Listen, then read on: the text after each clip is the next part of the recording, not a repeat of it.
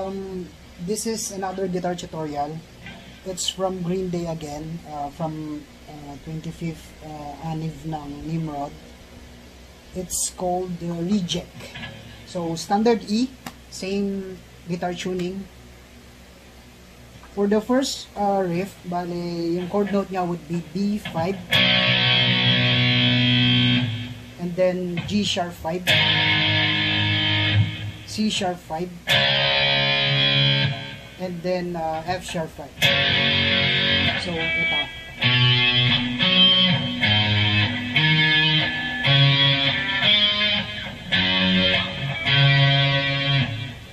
So slow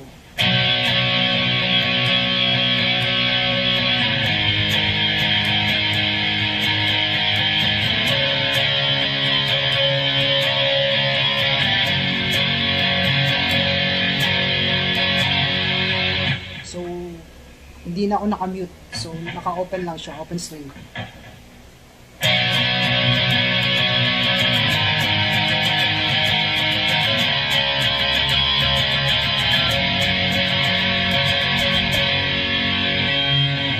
Next would be yung second riff. Okay, for the second riff, I played like this.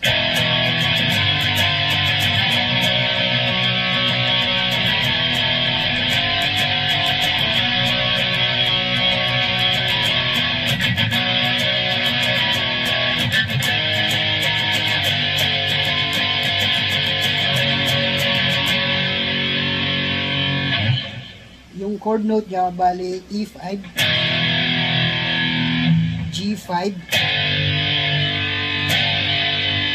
and then B5.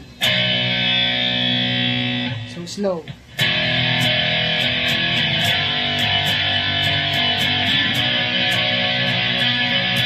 It's two times.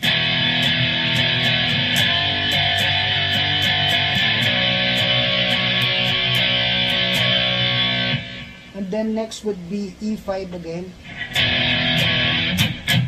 And then merong ah, parang ganyan.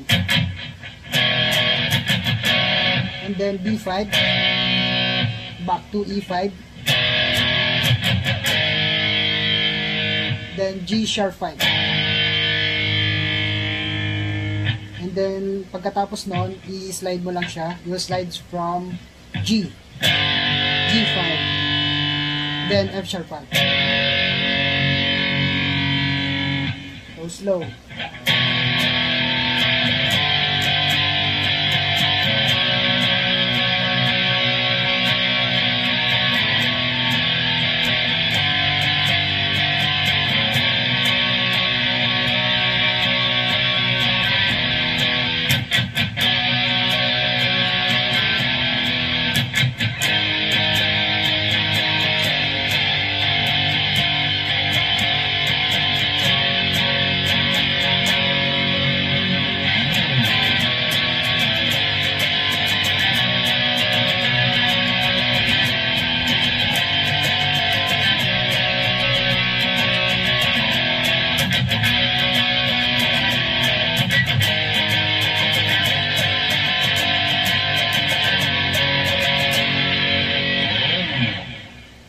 Our third riff, I played like this.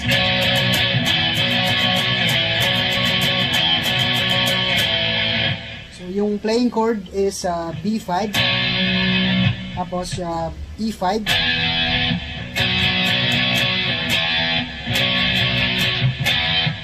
and then uh, B5 again, tapos slide mo siya sa A5.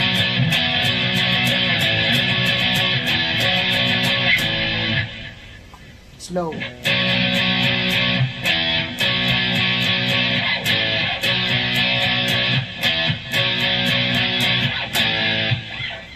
Okay, for the second verse, uh, second chorus, it's the same pattern lang sila. So, we'll be playing our fourth riff. I played like this.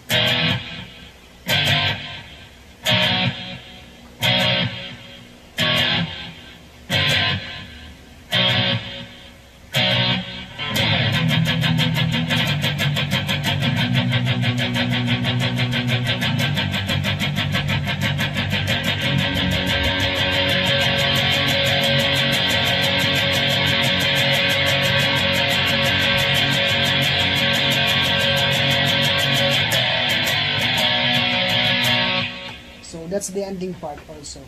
Okay, for the chord note would be E5, G5, and then B5. Twice. Balik ulit.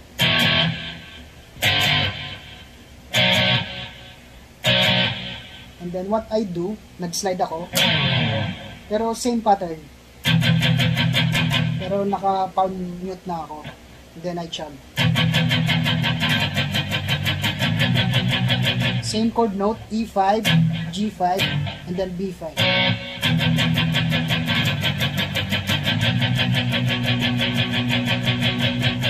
And then after nun, um, G5. And then sa F sharp 5, it's longer, mas matagal siya. Uh, going na siya sa ending part.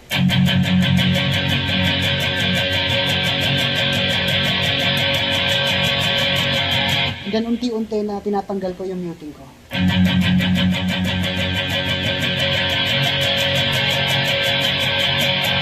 And then yung ending part would be E5, G5, and then B5.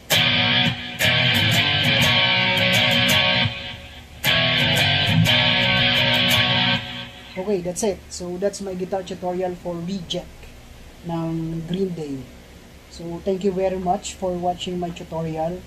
Uh, we have four songs pa. So see you next time guys. And then don't forget to follow me on my Facebook. You can share my posts also. And then um, follow me sa YouTube channel ko din na uh, Jong TV 360. Thank you. Bye-bye.